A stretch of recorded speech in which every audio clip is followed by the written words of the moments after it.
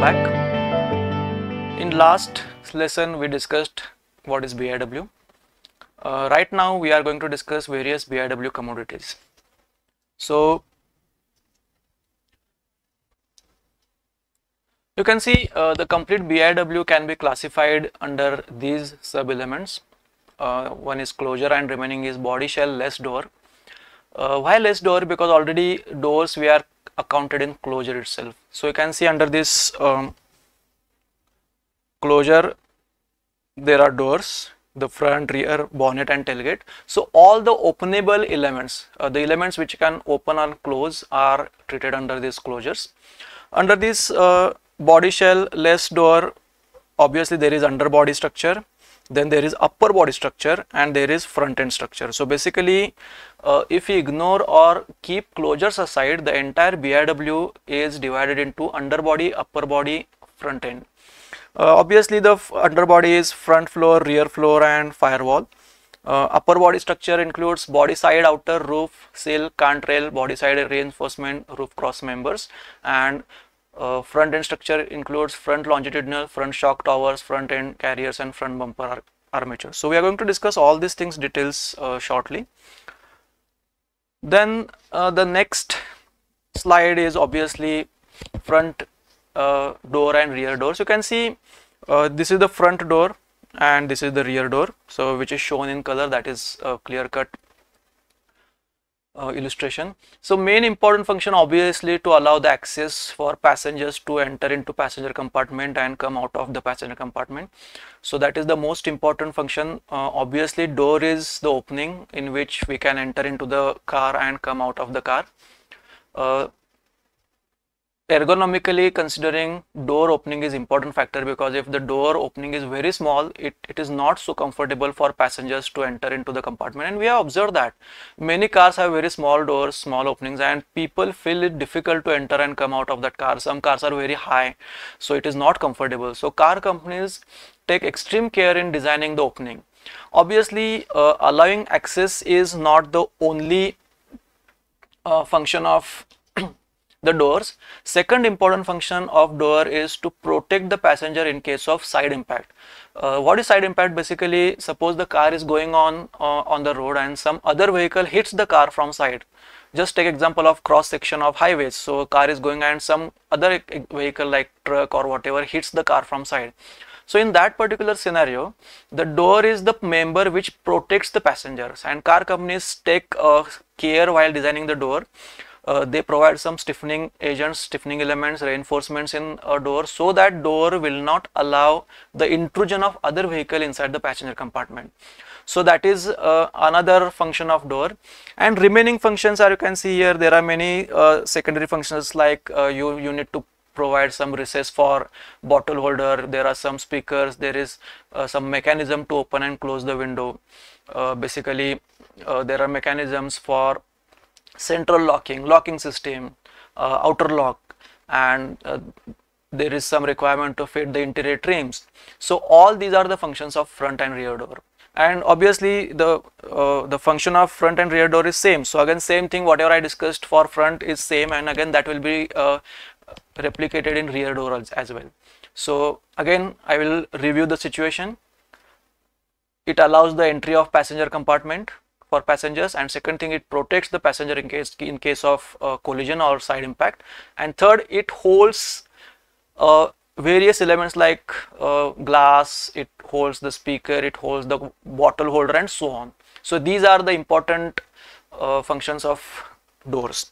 I'll go to next slide basically. Uh, bonnet obviously the most important function is the of the bonnet is to protect the and close the engine compartment. Obviously that is what we are uh, using it. But that is not the only function. Obviously bonnet is the main aesthetic member. What does that mean is that bonnet plays very important role in aesthetic of car that is the looks of car. If bonnet is not given proper shape that can ruin the shape or look of that particular car. So car companies, are uh, taking much effort in designing the bonnet. Another uh, function of bonnet is to allow good or to achieve good aerodynamic capabilities. So the shape of bonnet decides aerodynamics. Uh, the shape of bonnet decides the air drag. And because of that the aerodynamics is hampered. So that is important factor.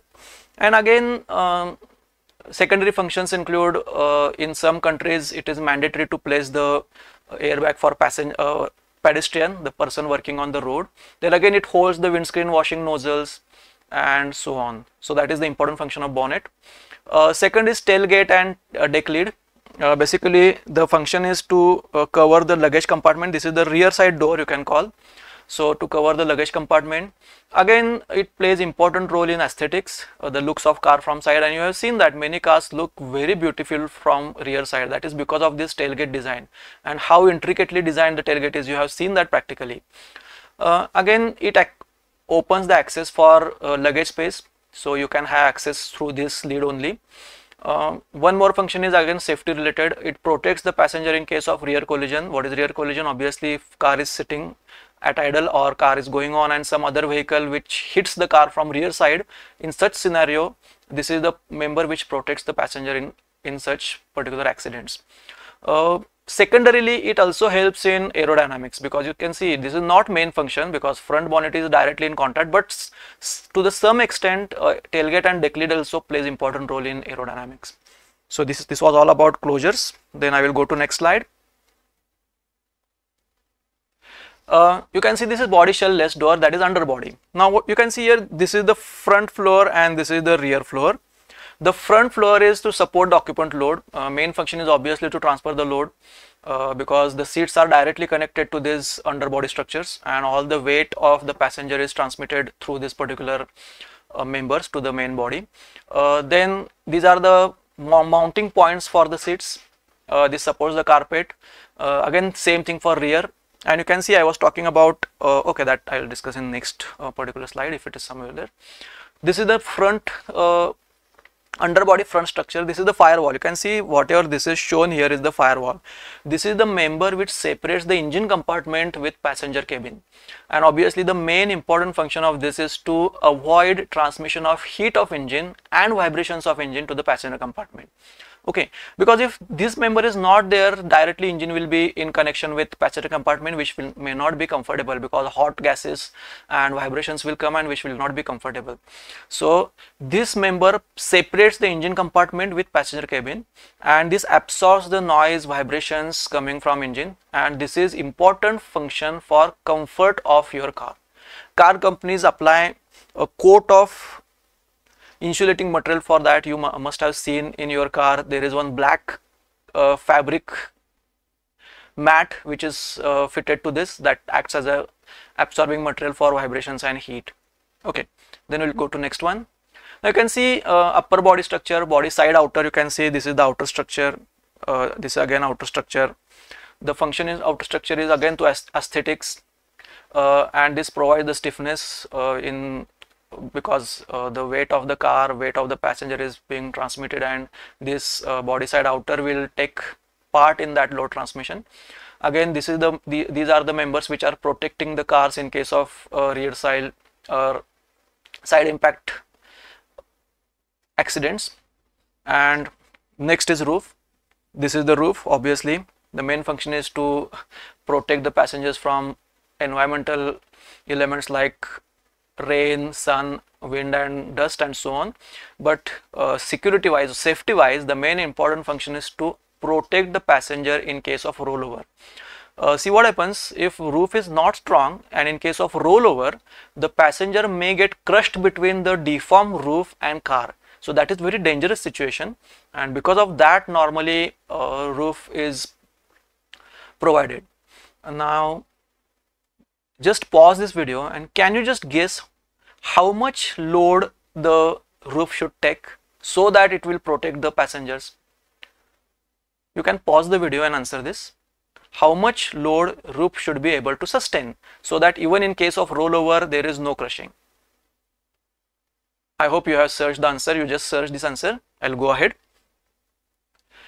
Then this is uh, sills and cant rail you can see uh, this is the cant rail this is the structure uh, which connects uh, to which the roof is connected and this these are the sills. Again the main function is in stiffness safety. Uh, this is the supporting member which uh, takes actively in load transmission. Then next one is side reinforcement. You can see this is the a pillar. I was talking about this a pillar. Uh, this is the b pillar. And obviously there is c pillar here which is not shown here and there is d pillar if the car is suv then there is d pillar the function of abc pillar is again uh, to protect the passengers in case of rollover and inside impact then uh, this was all about lesson number two. Uh, we discussed about various um, commodities of BIW and that's all from today's session. In next lecture, we'll continue with our discussions. Thank you.